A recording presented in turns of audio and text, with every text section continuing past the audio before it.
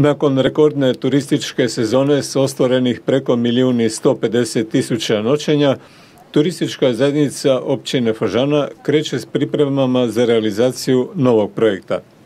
Cilj toga projekta je prezentacija maslinarstva, odnosno masline prvenstveno, kao jedne od najznačajnijih poljoprivrednih kultura na području općine Fažana i to ne samo sada, nego u stvari kroz taj projekat možemo ispričati cijelu dvomilenijsku priču ove povijesti Fažane. Svrha je cijelu tu priču oko povijesti maslinarstva na području općine Fažana predstaviti na suvremeni način, a u svemu tomu planirana je suradnja s raznim institucijama kao što su Arheološki muzej Istre, Porečki institut za poljoprivredu i druge.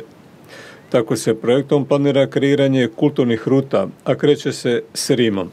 Ona u stvari počinje u Rimu, e, u Valbandonu, gdje je na području Valbandona nekada bila jedna izuzetno velika i kvalitetna rimska vila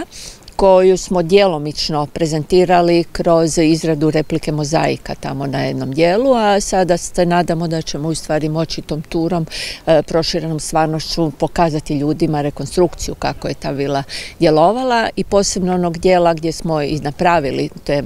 reprodukciju mozaika koji je bilo nekada u funkciji biblioteke i gdje ćemo pokušati u stvari isto proširenom stvarnošću osmisliti i pokazati kako je to nekad izgledalo s onim prekrasnim pogledom pogledom kako na samu Valbanovsku valu, tako i na Brijume.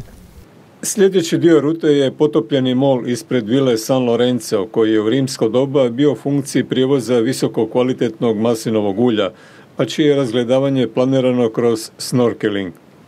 Treća točka je maslinik u Fažanskoj aleji maslina, koji bi trebao postati tematski park uz prezentaciju prerade maslina u ulje.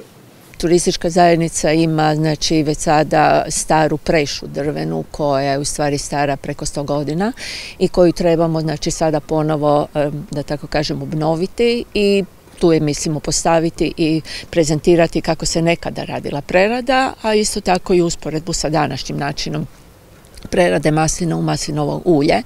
E, tu planiramo zajedno u suradnji sa agroudrugom Fažane osmisliti jedan mali, da tako kažemo, punkt gdje bi bilo njima u funkciji prodaje tog njihovog ulja, ali istovremeno smatramo da taj maslinik osim tog edukativnog dijela da možemo napraviti jedno novo prostorno otvoreno vezano i za druženje i za rekreaciju, tako da tu u stvari bismo spojili taj nekakav i turizam i outdoor kretanje, ali i veliku edukaciju vezano za prezentaciju te naše povijesti.